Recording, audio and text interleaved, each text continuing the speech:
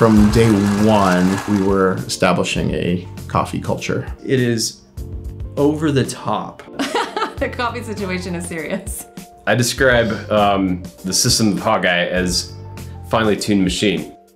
Coffee goes in, satellites come out. We've got a full suite of different coffee capabilities here. Uh, we even have a coffee Slack channel. We've got pour over, we've got espresso.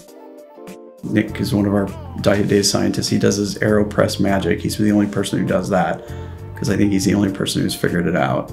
I have yet to meet two people that have the same method. There's several different scales, uh, debates over how to grind the coffee, what's fine, what's too fine, what shouldn't go into which grinder. You know, if I'm making coffee and somebody else is watching me do it, you know, it's not unusual that they'll comment like, "Oh, you're doing it that way. You're using that amount of beans." Ah, uh, interesting. You know. On April Fool's, somebody took away the gourmet coffee beans and filled it with Costco coffee beans. And it was fun to watch who noticed and who didn't. And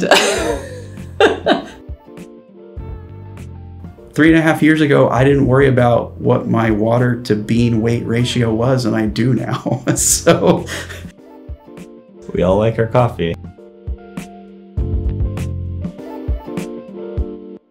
I'm a Keurig guy. Um, so I I don't do the the special coffees that everyone else does. Um, but they at least have a Keurig in the in the other side of the office here that I can get my Folgers. You know, it's the what is it the the the first thing of waking up? The best thing of waking up is Folgers in my cup.